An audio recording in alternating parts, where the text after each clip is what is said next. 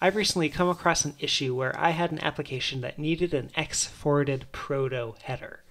Now, the proto header just tells your application if the scheme used should be HTTP or HTTPS, and this is usually something you get when you're behind a proxy like a load balancer or something like AWS's CloudFront. What we see here on the screen is a dump of the server variable, the global server variable from PHP, which has stuff like HTTP headers in it, and we see that I actually do have an X forwarded for and an X real IP address here. Now in my case, my application is going to be behind CloudFront, and CloudFront does not provide an X forwarded proto header. Instead, it has its own custom header.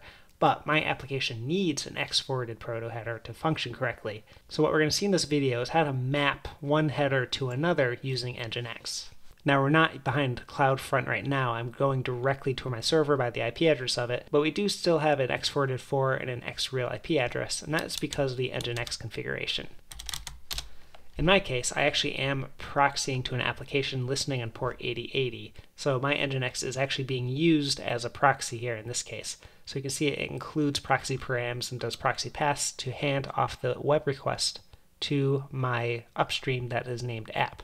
Now, because it includes these proxy params, Nginx is creating the X-forwarded for and the X-real IP header. But I still need the X-forwarded proto header so that my application knows to use HTTP or HTTPS. It needs this because CloudFront is accepting connections over HTTPS, but sending the connection to my server over port 80 HTTP. So my application needs to know that it should use HTTPS to generate URLs.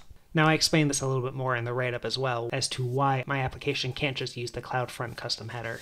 I'm going to skip that for now because the explanation is a little bit involved. So the main point here is that I want to be able to pass a header to my application here. In other words, I want, I want to be able to use proxy set header, and I want to tell it to set the X forwarded proto header, and I need that to be set to some value. So we know it's going to be set to whatever the value of our CloudFront protocol header is. Now this variable here doesn't exist. What we need to do is actually create this variable so that we can set our X-forwarded proto header to it. Now, it is possible to do this with an if statement in Nginx, but if statements are sort of problematic. And I'll link up to some reasons why in the write-up here. But what we're going to use instead is a map. So we actually check that out. We'll go to Nginx map, and I'll click on the map directive here, and we can see the context is HTTP. So inside of here in this configuration, the context is servers, and servers inside of HTTP, so this is one level too deep. So I can't just put a map configuration in here, but I can put it outside of the server configuration. Because everything here, everything in this configuration, everything we put inside of our sites available or sites enable directory is going to be in the HTTP context in Nginx by default. So what is map? Map lets us take the value of one thing and use that value to decide how to map a value onto another variable. So let's see that in action. By default, Nginx is going to convert any HTTP header and lowercase it and change dashes to underscores and prefix it with HTTP and create a variable out of it so we can reference it inside of configuration. So the header that we're working with is CloudFront forwarded proto. This is the header that CloudFront is going to send our application with the protocol, and the protocol is going to be either HTTP or HTTPS. So the normalization that it does is going to create a variable called CloudFront underscore forwarded underscore proto. And what we're going to do here is going to say take the value of this header and then using that we're going to map it to another variable and in our case we want to create the CloudFront proto variable. And we can do a few things here. First of all we can create a default. So the default value here is going to be set to HTTP, not HTTPS, and the default is going to get used if the CloudFront forward proto header has no value or if it's just missing. And then the rest of this we can do um, mapping here. And we can say if the value of the CloudFront forwarded proto header is HTTPS, then map some value to CloudFront proto. In this case, it would be foo, but we actually want it to be HTTPS as well. We're going to match the value in our case. And I need semicolons to finish this off. And I'm just going to wrap this with quotes also. So by default, if this has no value, if the CloudFront forwarded proto has no value, then use HTTP if the value is HTTPS, then use HTTPS for the CloudFront proto variable. The CloudFront proto variable is either going to say HTTPS or HTTP, and down here we set the header forwarded proto and set that to the value of our variable here. Okay, so let's see if this works. Let's save and quit sudo nginx-t says that's okay, so we can do sudo service nginx reload to get it up in place. So now I'm going to test out and see if this works. So we head back to Safari and check out our page here. We can see we have a new header. The X-forwarded proto is being there and it's defaulting to HTTP because nothing there is telling it to be HTTPS. In other words, we don't have that CloudFront header here at all. Let's add it by using Postman. So I'm just going to copy and paste the URL there, go to Postman, and we'll do a new request. And we'll just send this one off to see what we see, and it should be the exact same thing. So we have the X-forwarded proto header, and of course we defaulted it to HTTP because the CloudFront header is not there to tell it to be HTTPS. So let's go ahead and add that. All right, so CloudFront forwarded proto, and the value we want is HTTPS, and we'll send that.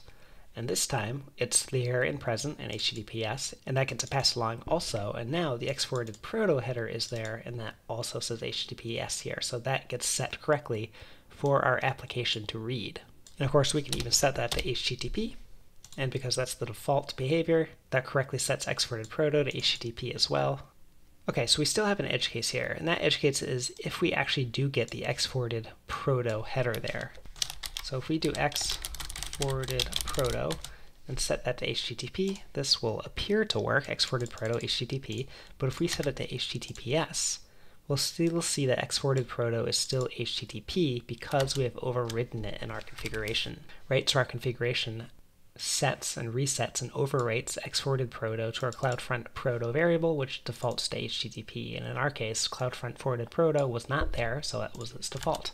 And that totally overwrote X-forwarded proto, even if it was present there. So we can get around this here. And to do that, we can actually concatenate multiple variables here and test that resulting um, string. So I can say HTTP x forwarded proto, and I'm actually going to separate them with a colon here, but you can use anything or nothing at all if you want. And then we can test for certain values of this depending on if the forwarded proto or the CloudFront forwarded proto headers are there or not there or whatever combinations there may be. So what does that look like? That ends up looking like this, right? So notice we're testing variables that have the colon in it because the colon will get added and created as part of this result string. And sometimes we'll say the X-forwarded proto is not present or if CloudFront forwarded proto is present. And we'll basically test for combinations for when these headers are or are not present and may or may not have a value. So we start by assuming CloudFront forwarded proto is present, in which case we'll have strings like this with an empty forwarded proto and a colon and the value for CloudFront's header. So if it's HTTP, use HTTP. If it's HTTPS, use HTTPS. And then the exact uh, inverse. If forwarded proto is present but not CloudFront, use whatever it says, right? If it's HTTP colon, use HTTP. If it's HTTPS colon, use HTTPS. And then we have if both are present, we end up using HTTPS if they are in conflict with each other. So we just default and assume they'll be HTTPS if one of them is set that way. And of course, if they both are, then HTTPS is the result. Now the default is actually HTTP, so any combination that ends up telling us to use HTTP we can just go ahead and get rid of because that'll just work by default anyway. That cleans that up a little bit. And of course here where they conflict, you can decide to say one header is definitely to be used over the other, but I've just assumed instead if any of them say HTTPS, then go ahead and assume the protocol to tell our application to use is HTTPS. You can save and quit that sudo nginx-t says the, the uh, syntax is okay. Load nginx and X-forwarded proto here. Let's resend that. And we see this is actually still HTTP, so I bet I have an error. You probably saw it already. Yeah, I have a typo here. So if I actually spell that right, we should correctly get HTTPS, and now we do, X-forwarded proto. And I can set this to HTTP, and we get HTTP, and then I can say, what if we have both? And they are both set to HTTP, then we see CloudFront ends up there, and then Proto is HTTP. And if any of these, either of these two say HTTPS, then X-forwarded Proto ends up being HTTPS for our application. Okay, perfect. So we have figured out a way to map the CloudFront forwarded proto header to the X forwarded proto header so our application can correctly function because in my case, the application only allowed me to use X-forwarded headers, so I couldn't use the CloudFront header.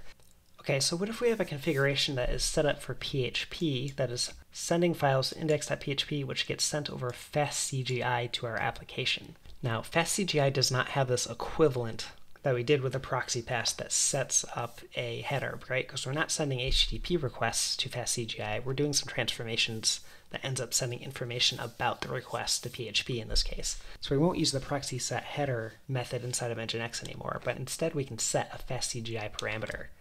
So all that looks like is this. We will set a fastCGI parameter, and this is what, remember those server variables look like over here. They all just say HTTP underscore and then the server name, and in this case they're all capital and dashes are underscores. So we can just create that here, a HTTP header with forwarded proto, and set that to our CloudFront proto variable, and that'll get set to PHP correctly. And of course, in this configuration, we just need to add that map outside of the server block to map CloudFront forwarded proto or X-forwarded proto to our CloudFront proto variable, so that gets set correctly down here. And I copy and paste this before we got rid of the ones that set HTTP, and we can do that again. Okay, so this is all set to go. This will send correctly to PHP the X-forwarded proto header, and that will appear just like this inside of PHP.